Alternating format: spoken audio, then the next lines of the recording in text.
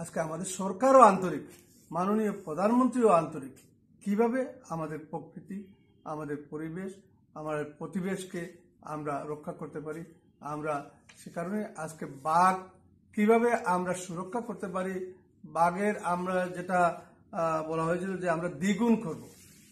আমরা এখনও দ্বিগুণ হয়তো করতে পারি নাই, কিন্তু আমাদের পাশাপাশি দেশ নেপাল ইতিমধ্যে দ্বিগুণ করে ফেলেছে। কাজেই আমরা সেখানে কেন পারছি না? অবশ্যই যদি আমরা আন্তরিকভাবে কাজ করি তাহলে যেটার প্রয়োজন এই বাঘের সংখ্যা দ্বিগুণ করার জন্য যেটা আমার উপমন্ত্রী মহোদয় বলেছেন আরও অনেক বক্তা বলেছেন হ্যাঁ, সেইভাবে যদি আমরা কর্ম পরিকল্পনা গ্রহণ করি যে আমরা এই পরিকল্পনা গ্রহণ করে আগামী দশ বছর বিশ বছরের মধ্যে আমরা বাঘের সংখ্যা দ্বিগুণ করতে সক্ষম হব। একটা পরিকল্পনা নিতে হবে। আর এমনিতে এমনিতে তো আবার দ্বিগুণ হবে না।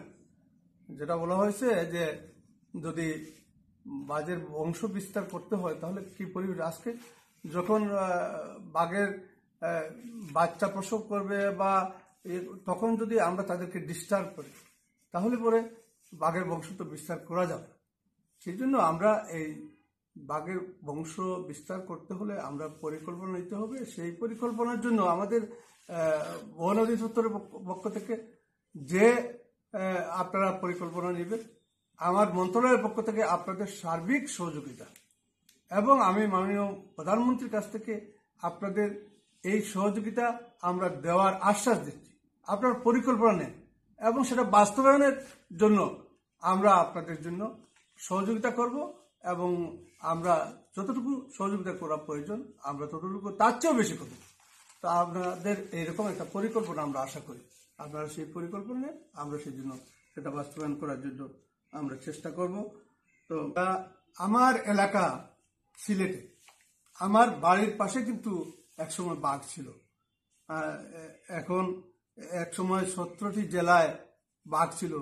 কিন্তু আমার বাড়ি যেখানে পাতারিয়া পাহাড় পাতারিয়া পাহাড় আজও আছে, কিন্তু বাঘ নেই। কিন্তু আমার বাড়ির একেবারে দুই, এক মাইলের ভিতরেই প্রতি বছর শীতকালে বাঘ আসত।